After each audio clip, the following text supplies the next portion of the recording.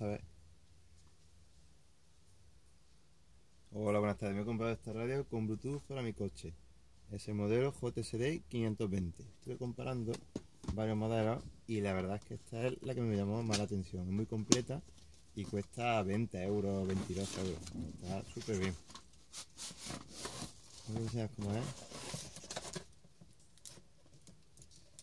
Saque de aquí y ahora. Trae un mando a distancia, que es muy útil.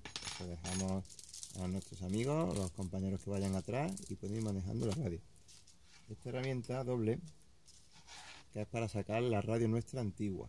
La metemos por los lados y con este clip de aquí sacamos, hacemos presión para afuera.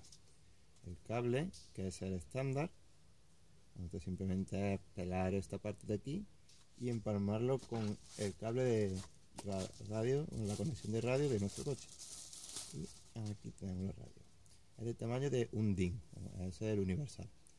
El diseño muy discreto y elegante. Lo más importante, que aunque es muy barata, es bastante potente. Es de 60 x 4. Estuve mirando mucho son de 50, así que esta tiene 10 vatios más por 4, 40 vatios más.